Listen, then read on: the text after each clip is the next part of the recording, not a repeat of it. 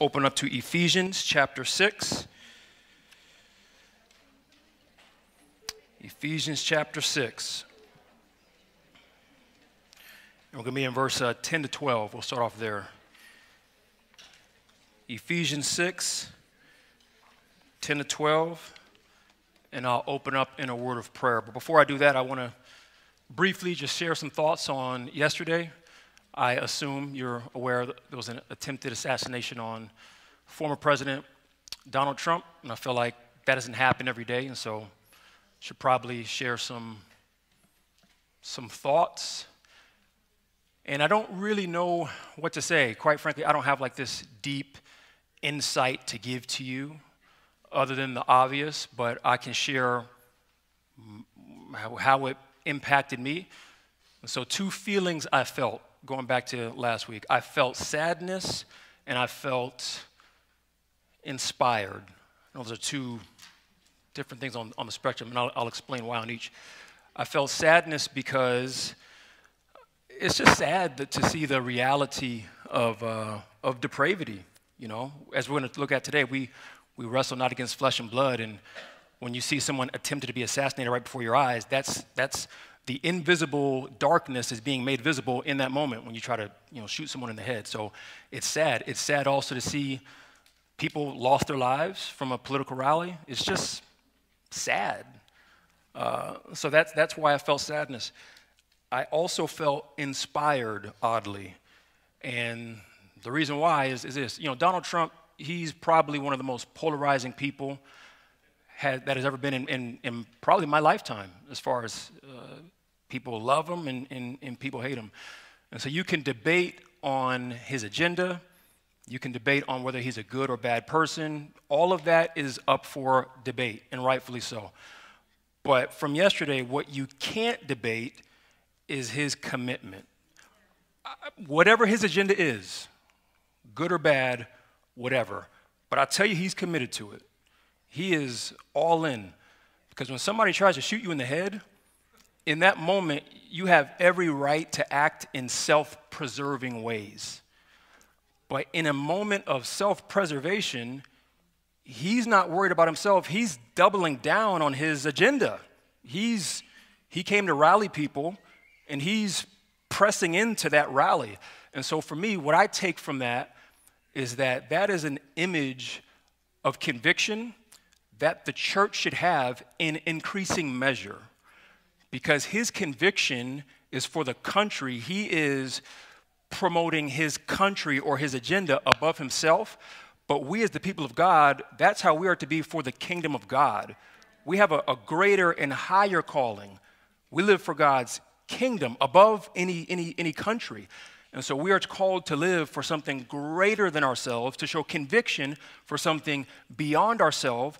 And so in that moment, that, that should be something that inspires us to press into conviction, press into passion, and press into the pursuit that Christ gives us to seek first his kingdom and not seek first our comfort and not seek first our whatever. So those are my reflections.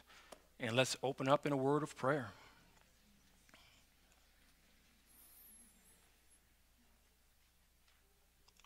Lord God, thank you for this moment.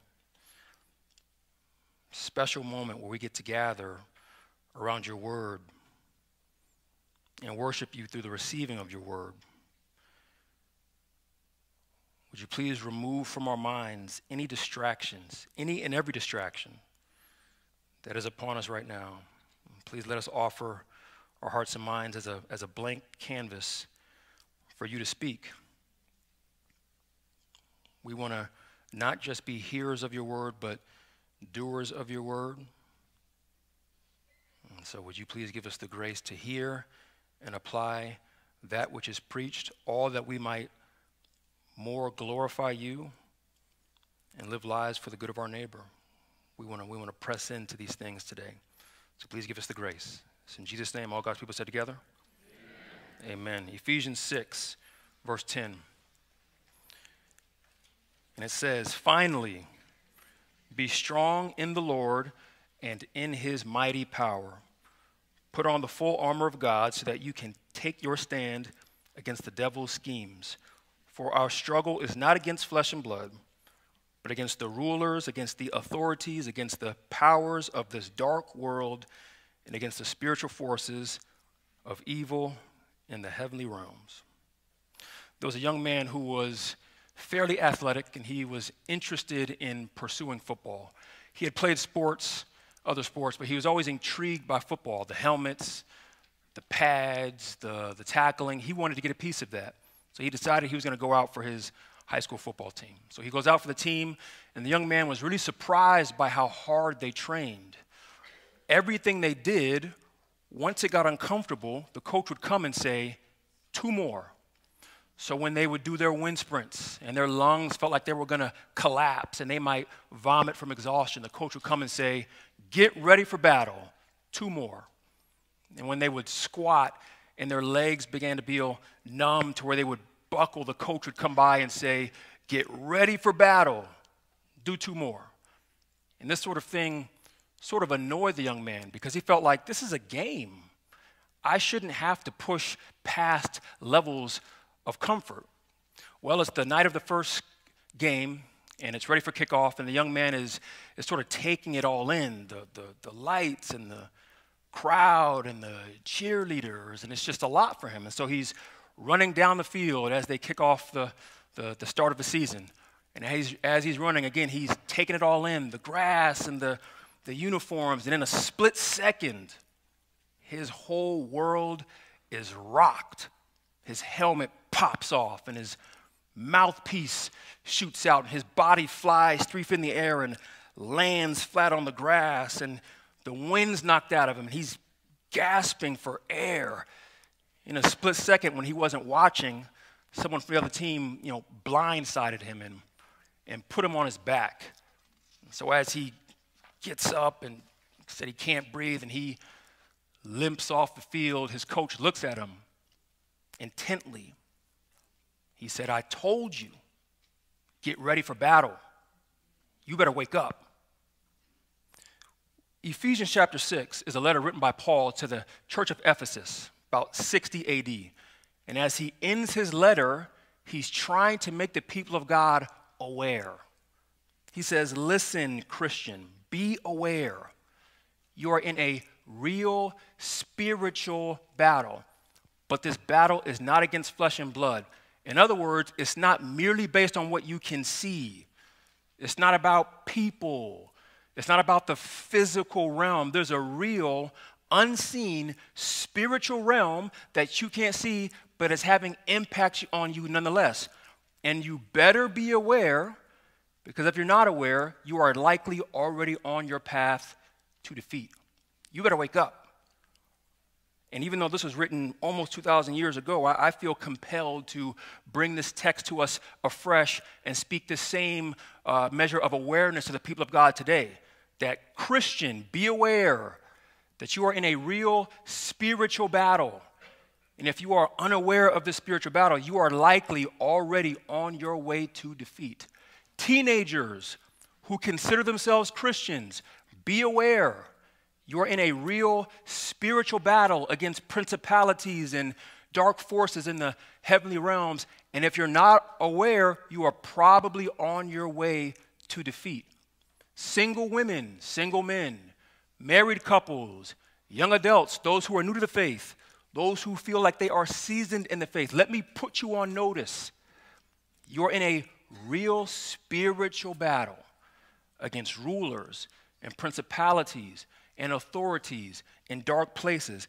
And if you are unaware of this reality, you are probably already on your way to defeat. And when I say defeat, sometimes we think, oh, that means a moral failure, this major moral failure. But that's not just what defeat means. To be ineffective in your faith is defeat as well. To be ineffective in your faith is a win for the enemy. To live the Christian life, but to walk it in the flesh, is a win for the enemy. To live the Christian life, but to chase the things of this world, that is defeat as well. I want you to realize the reality and the severity of what this spiritual battle means. Write down 1 Peter chapter 5 verse 8. 1 Peter 5 verse 8. Listen to what Peter says. 1 Peter 5 8, talking to the people of God, he says, Be alert and of sober mind. Wake up. That's what he's saying. Be alert, of sober mind. Your enemy, the devil, crawls around like a soft, gentle, cute, and cuddly kitty cat. Is that what it says? No. Your enemy, the devil, prowls around like a roaring lion, looking for someone to hug and squeeze and kiss goodnight. Is that what the scripture says? No, looking to devour someone, to bite your head off. I'm not being dramatic. It's what the, if this is the word of God, that's what it's trying to tell you. Write down 1 Thessalonians 5, 5 to 8. 1 Thessalonians 5, 5 to 8. Paul says again, You are children of the light and children of the day. In other words, you're Christians. You're born again. We do not belong to the night or to the darkness. So then, let us not be like others who are asleep, but let us be awake and sober. For those who sleep, sleep at night, and those who get drunk, get drunk at night. Verse 8 But since we belong to the day, since we are believers, let us be sober. Let us wake up, putting on faith and love as a breastplate, and the hope of salvation as a helmet. Both of these passages and many more highlight the reality that Christians need to be awake. You better put your helmet on. You better strap that helmet up. You better put that mouthpiece in. You are in a spiritual battle, and if you are not aware of this, you are probably already on your way to defeat. So, why do I start today with this? Well, we've been talking about life by the Spirit and walking in the Spirit. And the reality is, if you're going to walk by the Spirit, there is a spiritual war seeking to prevent you from this very thing. The scripture says there's a war within us and there's a war outside of us. And both of those wars seek to prevent us from walking by the Spirit. You can write down Galatians 5:17. Galatians 5:17, the scripture teaches us that the flesh desires what is contrary to the spirit, and the spirit what is contrary to the flesh. Write down Romans chapter 7.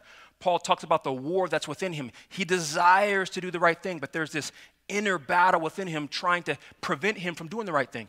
This talks about the internal war there's this battle within you between your flesh and the spirit, your old nature, your old inclinations, and the new nature, the new person you've been made to be. There's, a, there's this internal war within us, but in Ephesians 6, we also see that there's an external war outside of us versus rulers and principalities in the dark places. We got it going on on the inside, and we got it going on, the outside. And so, with this foundation laid, we're going to look at uh, 1 Corinthians chapter 10, no, 2 Corinthians chapter 10. And we're going to sort of unpack the essence of spiritual war, the essence of the spiritual battle, and then we're going to provide some application. So go to 2 Corinthians chapter 10, verse 5, uh, verse 1. That's what we're going to turn to right now. 2 Corinthians chapter 10, verse 1. Or write it down, it should be on the screen.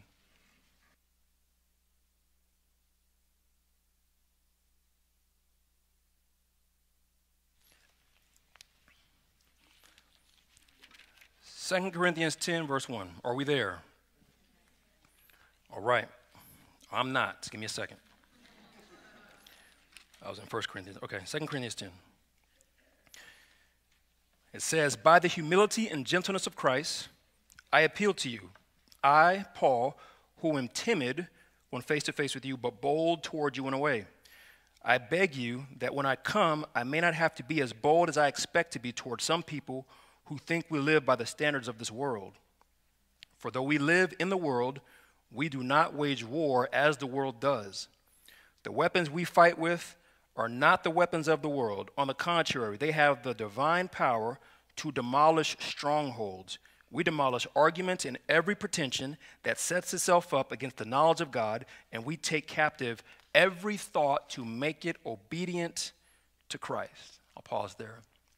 So, Paul, again, spiritual leader, he's writing this letter to the Corinthian church. He loves this church deeply. He founded this church, and he's going to come visit them soon. But he's telling them, when I come to visit you, I'm about to wage war.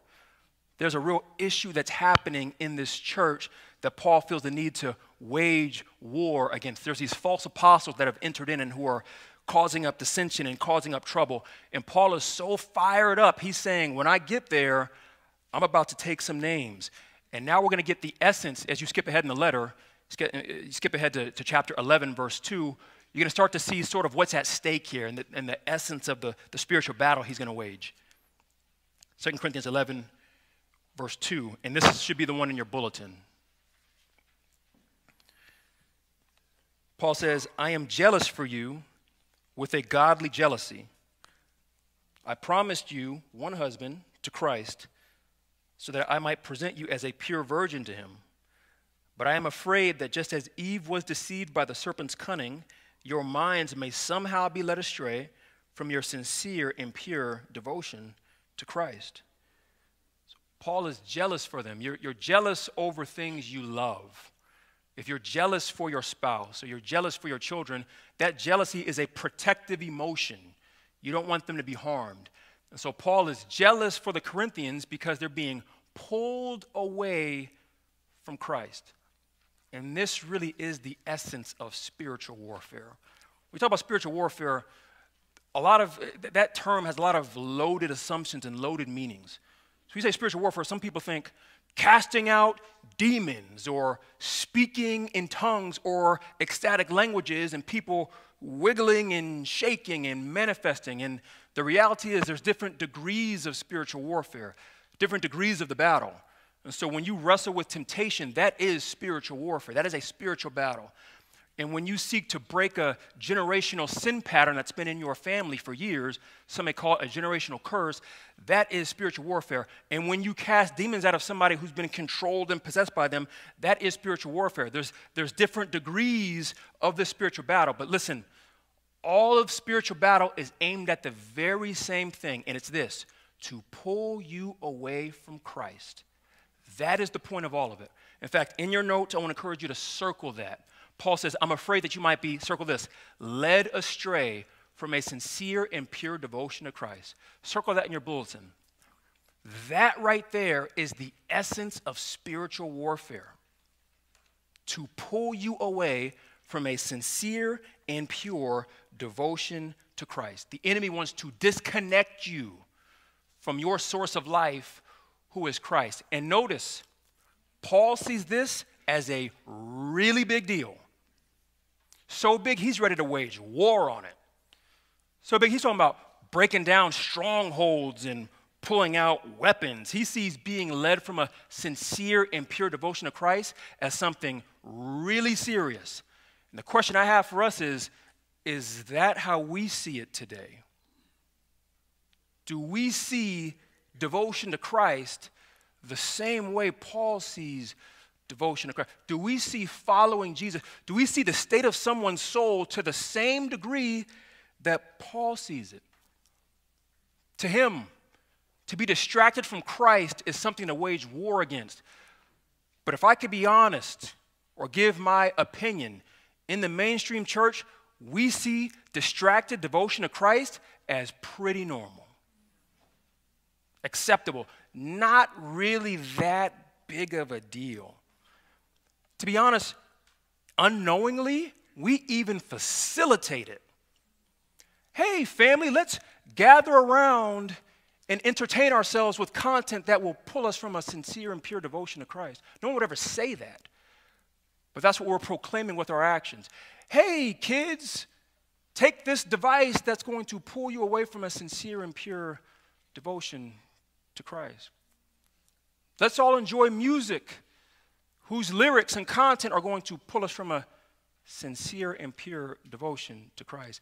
And this is the heart of the enemy's scheme in our culture. I think the enemy works different ways in different parts of the world. In America, one of his primary schemes is to get us to minimize devotion to Christ, to minimize the very things that are pulling us away from Christ. To say it's not that big of a deal. Oh, let's not go overboard. Or let's not be too rigid.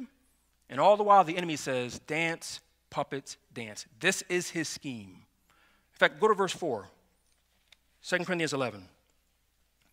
This ain't about condemnation, by the way, it's about awareness, it's about empowerment. I don't want you to feel condemned, I want you to feel empowered, to be made aware, and then you do what you want with that. 2 Corinthians 11, verse 4. Paul says, For if someone comes to you and preaches a Jesus other than the Jesus we preached, or if you receive a different spirit from the spirit you received, or a different gospel from the one you accepted, you put up with it easily enough. He's saying if somebody preaches Jesus differently, or gives a different spirit, or, or preaches a different gospel, all of those were tactics by the enemy aimed at pulling the Corinthians away from Christ. And it was working because Paul says they put up with it. That's the enemy's de- de- deception. To put up with the very things that pull you from Christ, to tolerate the very things that pull you from Christ, to facilitate, to endorse, to turn a blind eye to, to accept the very things that are pulling us from Christ. When all the while the scripture is clear, wage war on the things that pull you from Christ. No matter how common it is in society, no matter how normal it is, the scripture says, no, you wage war against that stuff because your soul is at stake. Right now, Matthew 5. Matthew 5. You've seen this verse if you've been in church for quite some time, but I want you to see it through the light of spiritual warfare. Matthew 5, verse 29. Listen to the words of Jesus. If your right eye causes you to stumble, what does he say? Gouge that bad boy out. Throw it away. Better for you to lose one part of your body than for your whole body to be thrown into hell. And if your right hand causes you to stumble, cut that thing off. Throw it away. It's better for you to lose one part of your body than for your whole body to be thrown into hell. Now, this is somewhat dramatic language, but Jesus is saying this wage war on the things that pull you from God. It's the essence of what he's saying. If your right eye causes you to sin, in other words, if your right eye pulls you from a sincere and pure devotion to Christ, pluck it out. If your right hand causes you to sin, in other words, if your right hand pulls you from a sincere and pure devotion to Christ, cut that thing off. Wage war on the very things that are pulling you from a sincere and pure devotion to Christ. And if you are going to live like this, understand that you better be okay with going against the grain. You better be okay with being a little different. You better be okay with people not understanding you because most people aren't going to get it. Most people lack an awareness of the enemy schemes. So they're not going to understand your convictions. They're not going to understand the decisions that you're making. But the Word of God is clear. The people of God must be aware of the enemy's schemes so that they don't fall for it. So, what I want to do from this point is bring a heightened awareness to his schemes. There's three instruments. There's more than three, but there's three specific instruments that are very basic that Satan utilizes to pull us from a sincere and pure devotion to Christ. And these instruments are not inherently bad. They're actually inherently good because they were created by God. At least two of them were. They're created by God. So they're not bad, but Satan wants to leverage them, leverage the influence that they have in perverse ways to pull us from our devotion to Him. And here's the first one write it down is people. People.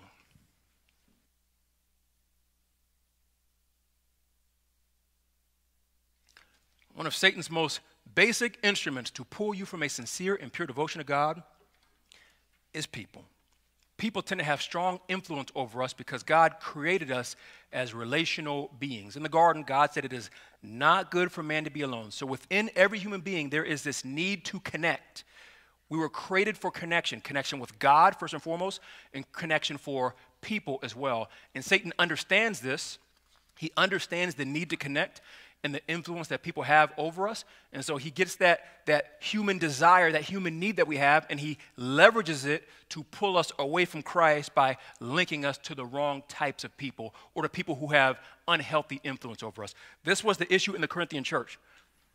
These false apostles were being leveraged by Satan to pull the Corinthians away from Christ. This was the issue with the Israelites in the promised land. If you remember that story, God specifically told the people of Israel. When you enter the land, don't intermingle with those folk. They're going to pull you from a sincere and pure devotion to me. In fact, write down uh, Deuteronomy chapter 7, verse 1. Read it for your own self. Deuteronomy 7, verse 1. Listen to God's instructions. When the Lord your God brings you into the land you are entering to possess and drives out before you many nations the Hittites, Girgashites, Amorites, Canaanites, Perizzites, Hivites, and Jebusites, seven nations larger and stronger than you. Verse 3 listen, do not intermarry with them. Do not give your daughters to their sons or take their daughters for your sons, for they will, listen, turn your children away from following me to serve other gods. They will pull you from a sincere and pure devotion to God. And the Lord's anger will burn against you, and you will quickly be destroyed. This is what you are to do break down their altars, smash their sacred stones, cut down their Asherah poles, and burn their idols in the fire. For you are a people holy to the Lord. The Lord your God has chosen you out of all the peoples on the face of the earth to be his people, his treasured possession. Don't mix with them. They're going to pull you from a sincere devotion to God. And what did they do? Do you remember? They did the very thing God said not to do. They dwelled among the people, and it was to their spiritual demise. People can be leveraged by Satan to pull you from your devotion to Christ. It was the same issue with King Solomon, the wisest, most powerful man on the face of the earth, and yet he was influenced by people away from a sincere and pure devotion to God. Write down 1 Kings chapter 11, verses 1 to 7. 1 Kings 11, 1 to 7. King Solomon, however, loved many foreign women. Pharaoh's daughter, Moabites, Ammonites, Edomites, Sidonians, and Hittites. They were from the nations about which the Lord had told the Israelites, You must not intermarry with them, because they will surely, listen, turn your hearts after their gods, pull you from a sincere and pure devotion to me. Nevertheless, Solomon held fast to them in love. He had 700 wives of royal birth and 300 concubines, which is a lower level wife, and his wives led him astray. As Solomon grew old, his wives turned his heart after other gods. His heart was not fully devoted to the Lord his God, as the heart of his father David had been. The wisest, richest man on the earth was pulled away from God by the influence of people. Church, we need to be aware. Are you more stronger than Solomon? Are you more spiritually discerning than this man? Be aware. Take heed lest you fall. People have the ability to pull us from a sincere, pure devotion to Christ. Parents, wake up on this. Peers have the ability to pull your kids away from a sincere and pure devotion to Christ. Don't sleep on that. Please don't sleep on that. Children are extremely vulnerable. They are forming their identity, they're forming their belief system. And Satan can leverage the influence of peers to pull your kids from a sincere and pure devotion to Christ. What do you do with that? We're going to talk about that a little bit later. But I'm just trying to heighten our awareness. Don't sleep. Don't be naive. Satan can leverage people to pull us from a sincere and pure devotion to Christ. Second thing to write down instruments that Satan uses. We got people. Number two is we got pleasure. Satan can leverage, utilize pleasure to pull you from a sincere, impure devotion to Christ. Pleasure is not an inherently bad thing. God created us to pursue pleasure, it's in our DNA. And I believe God put that within humanity so that we might seek Him and find it in Him. But Satan has taken that human need of pleasure, that human pursuit, and he gets us to pursue pleasure not by pursuing God, but by going away from God. That's what he has done. He gets to, he, he, he attaches to a human need and gets to, and, and seeks to influence you to satisfy that need, going away from God instead of going to God. He wants you to chase pleasure instead of chasing God. Write down Matthew 6, verses 19 to 24. Matthew 6, 19 to 24. Scripture says, Do not store up for yourselves treasures on earth, where moths and vermin destroy, and where thieves break in and steal. But store up for yourselves treasures in heaven, where moths and vermin do not destroy, and thieves do not break and steal. For where your treasure is, there your heart will be also. Verse 24 No one can serve two masters. Say again. No one can serve two masters. Either you will hate one and love the other, or you will be, there's that word, devoted to the one and despise the other. You cannot serve both God and money. Do you believe that? Okay, write down 1 Timothy chapter 6, verse 10. 1 Timothy 6:10. For the love of money is the root of all kinds of evil. Some people, eager for money, have wandered from their faith. They have drifted from a sincere and pure devotion to Christ and have pierced themselves with many griefs. Why use two passages about money when I'm talking about being pulled away from Christ regarding pleasure? Because money gives you the power to pursue your pleasure. That's the power of money. Money touches on two human desires power and pleasure. We want power and we want pleasure, and money gives you the power to pursue your pleasure. And what can happen is in your pursuit of that pleasure, you draw away from Christ. You start pursuing pleasure and the benefits that money can give you instead of pursuing Christ above all things.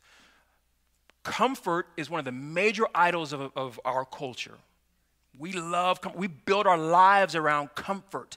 That's what drives our motivations and drives what we do. What's underneath comfort? The love of pleasure. It's really what it is. Being comfortable feels good, it's a pleasure thing. So, pleasure is not bad, but you got to understand that Satan will leverage pleasure and get you to pull away from Christ instead of being pulled toward Christ. So, that's the second instrument, very basic that Satan uses to pull us from a sincere and pure devotion to Christ. Here's the third one, write it down. It just so happens to start with a P as well. It's pain. Pain. Satan will leverage pain to pull you from a sincere and pure devotion to Christ.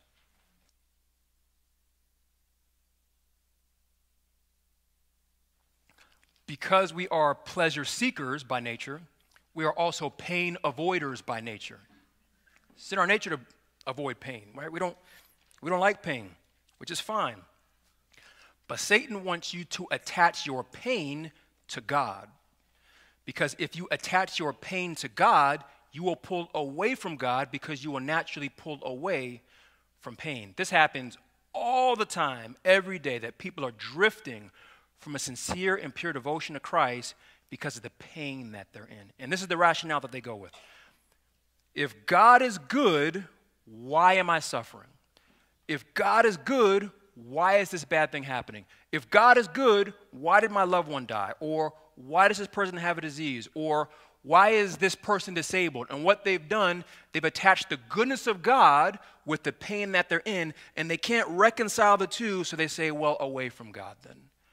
Or they begin to doubt God's goodness or doubt God's character. And this is a scheme of the enemy. He's gotten you to attach your pain to God. And in the process, you are drifting from a sincere and pure devotion to your very source of life. So there's your spiritual truth for the week. You are in a spiritual battle. Satan wants to pull you from a sincere and pure devotion to Christ, and he will do this through many things, but three specific through people, through pain, and through pleasure. That's your theology. Great. What do we do now? What's the application for all of this? Now, talk about life in the Spirit. Several weeks. There's two practices or there's two spiritual realities that I've drilled on every single week that are necessary for life in the Spirit. Do you remember what they are? Awareness and what else? Surrender. Awareness and surrender. Everyone say awareness, Say surrender. Central to living the Christian life awareness and surrender. Central to living the Christian life. So, awareness and surrender are also central to overcoming the schemes of the enemy in fighting the, the, spiritual battle that you are in. So, awareness, what does that mean? Awareness, aware of the enemy's schemes and aware of how it's impacting you. Both. You got to be aware of the enemy's schemes, but you also have to be aware of how it's being effective in your life. You have to be aware or willing to admit that these people are pulling me away from Christ. You have to be aware or willing to admit that this content that I'm digesting is pulling me away from Christ. You have to be aware or willing to admit that the kids that my kids are hanging out with are pulling me away from Christ. You have to be aware or willing to admit that this pain that I'm feeling is actually pulling me from Christ. It starts with awareness, but then it progresses to surrender. Got to be aware of what's going on, but then you have to surrender the battle to God. So, how do you surrender this battle to God? We'll find out next week. I'll tell you right now then. Four things. Since you, uh, I'll give you four things. You convinced me. No, I, I was, I was going to do it anyway. Four tools of surrender, I call them. Okay, these are practical ways that you can surrender to God. Here's the first one removal. It might say remove on the screen, but removal. Removal is a spiritual tool available to you as an act of surrender to overcome the enemy. So, when you become aware that this thing is pulling you from a sincere and pure devotion to Christ, your first thing to consider is removal, meaning remove the very thing from your life that is pulling you from Christ. So, if it's a boyfriend or girlfriend, consider removing them. If it's a habit, consider removing it. If it's a place that you tend to stumble with, remove it. If it's a relationship, remove it. And when you remove something from your life as an act of surrender, is actually an act of worship. Because what you are declaring is this that even though I love this very thing that I'm doing or this person, I am willing to remove it because my love for God is even greater. It's an act of surrender, it's an act of worship. And what you're doing is you're staking your claim that Christ will be central to your life. To remove something that's hurting your faith is to say, Jesus, I want you more. Even if I don't feel it, I'm declaring it that I want you more. So the question for reflection this week is listen, are there any people, places, or pleasures that you need to consider removing from your life for the sake of your spiritual health.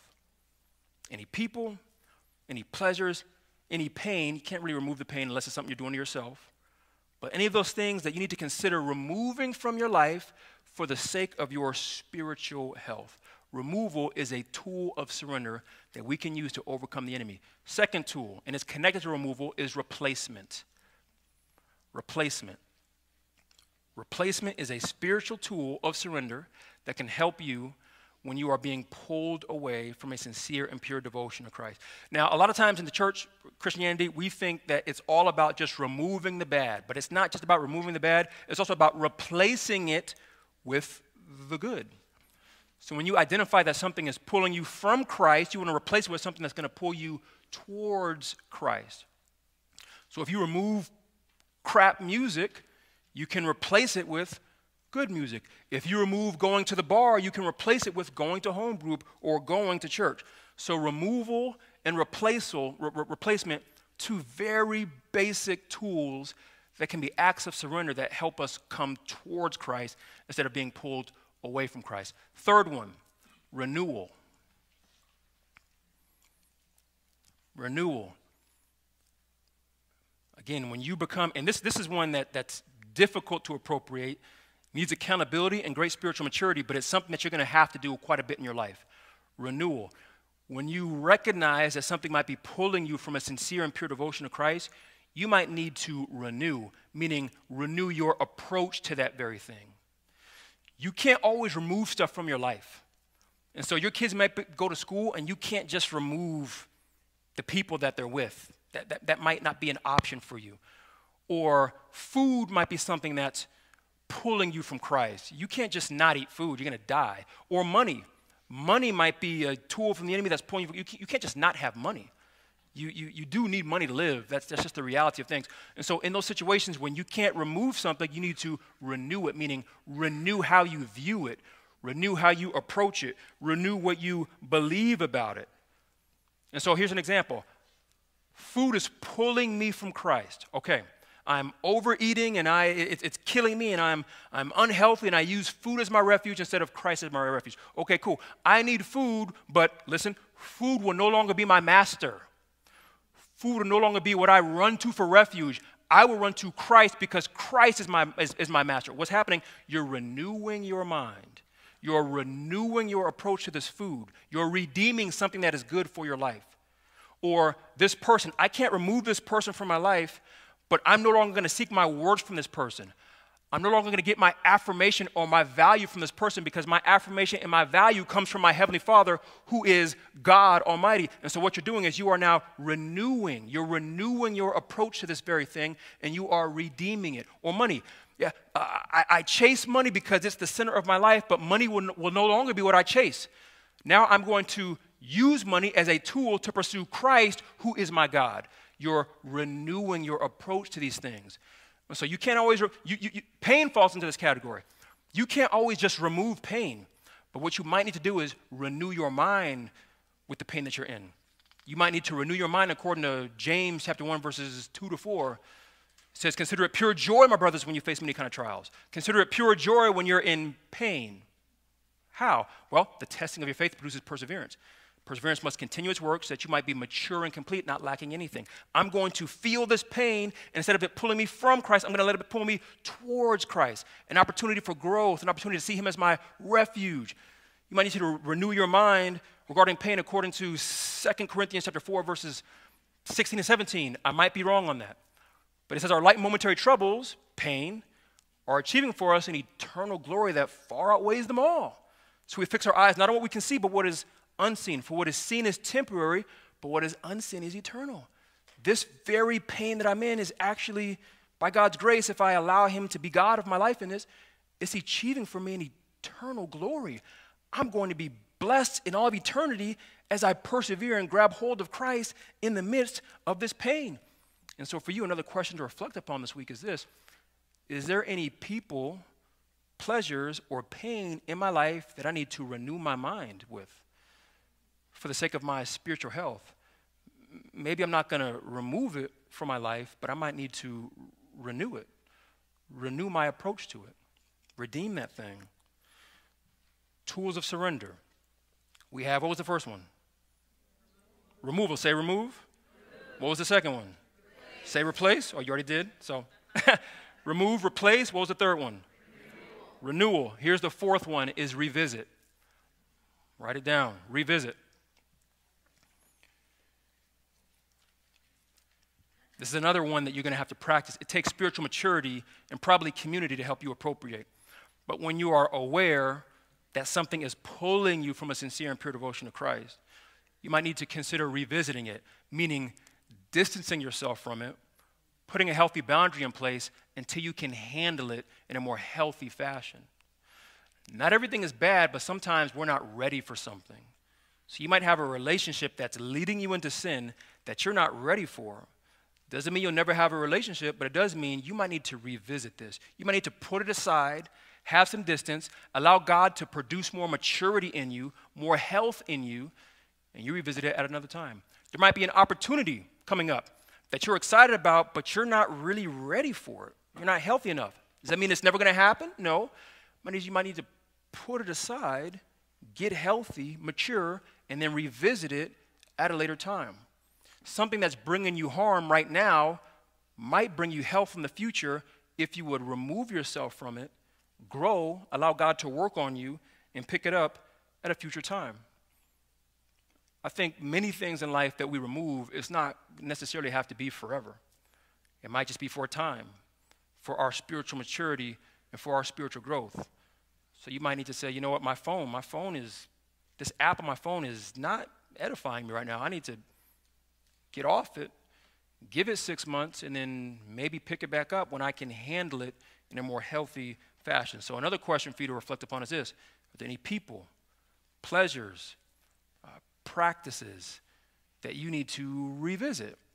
Consider putting aside for a season so that you can get healthy, so that you can mature and grow, and revisit it, repick it up at a future time.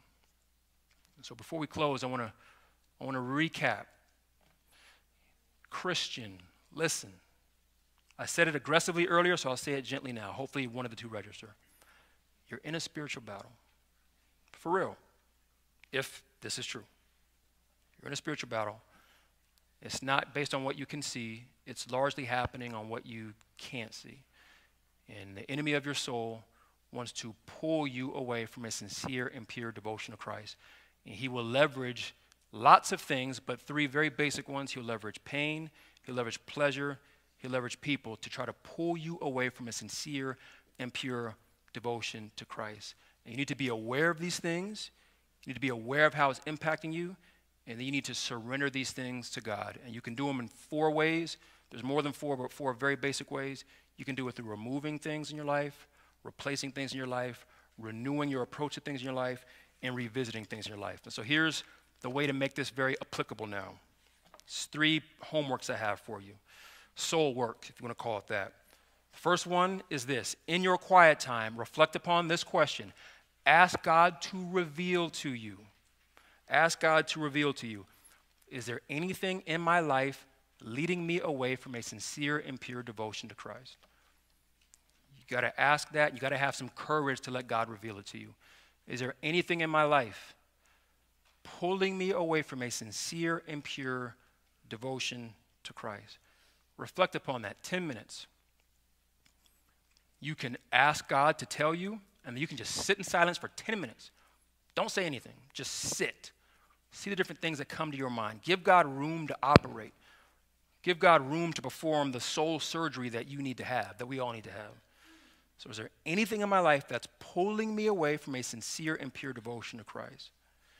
Second thing to reflect upon once God reveals it, surrender it. So, what tool of surrender might I need to activate to combat this? Do I need to remove this from my life? Do I need to replace it? Do I need to renew my approach to it? Do I need to revisit it? But really ask God to reveal that to you. What is pulling me away, if anything? What do I need to, what act of surrender do I need to do? Okay, those are your two things to do on your own. And then the third one is to do with someone else. I want you to discuss this with one other person in the church. It can be your spouse, it can be a friend, it can be some, but you need to, we need as a body of believers to really start processing in community. I believe there's only a certain level of spiritual maturity that you can achieve or you can that you can become on your own. You were created for connection, and that involves growing in spiritual maturity as well. And so these are intimate questions. I understand that. But if there's no one in the church that you can discuss this with, you probably need to pursue deeper levels of connection and start working toward that. And that's going to take some time, fine. But you want to be on the road towards that. So I encourage you to share this, discuss this, ask someone else this very thing, and have a five or 10 minute discussion about it. And as you do, as you process in community, God provides His grace for each of you to be edifying each other and growing in His grace. And so, are, are there any people, pleasures, pain that's pulling you from Christ? Do you need to remove, replace, renew, or revisit anything? And then process it in community. And if we would commit to these things, now the sermon isn't just a fun, cool, 45 to 50 minute time that we had, but now it's an avenue for transformation that we might grow up into the very people, the very men and women that God created us to be. Amen? Amen. Amen. Let's, let's pursue these things this week. Amen. So you got your soul work for the week. Again, I want to encourage you to, to press into it. Let it be something that forms and shapes and strengthens your soul as you reflect upon these things. Surrender them to God and then process it in community. Again, if you're new here, so glad you're here. Stop by the welcome booth. We'd love to connect with you. If you need prayer for anything, our prayer team will be here. They'd love to encourage you and pray with you. And again, press into these things, and, and, and, and we're going we're gonna keep getting deeper and deeper into what it means to, to walk by faith and specifically walk in the Spirit.